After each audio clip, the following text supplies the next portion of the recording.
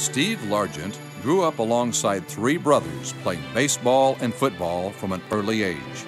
He played at Putnam City High School, where he took future wife Terry to the junior senior prom. Following graduation, Largent accepted a football scholarship from the University of Tulsa. Named team captain his senior year, he also found a lifelong passion as a young life leader. After marrying his high school sweetheart, he was drafted and released by the Houston Oilers before signing with the Seattle Seahawks. For many years, we didn't have an NFL team.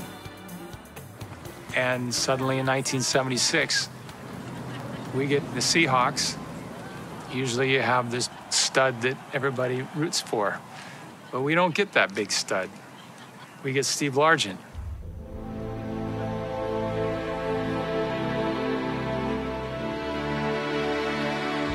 185 pound guy that doesn't fit the Goliath size athlete that you're used to. We get David. He lays out and catches those passes like nobody I have ever seen. This run played with such a fury, he was our hero. With his mom, Largent celebrated the record for consecutive games with a reception and after 14 years and seven Pro Bowls, upon his retirement, he held every receiving record in the NFL. Surrounded by family, he was inducted to the Pro Football Hall of Fame and continues to celebrate the accolades of teammates and fellow Seattle athletes.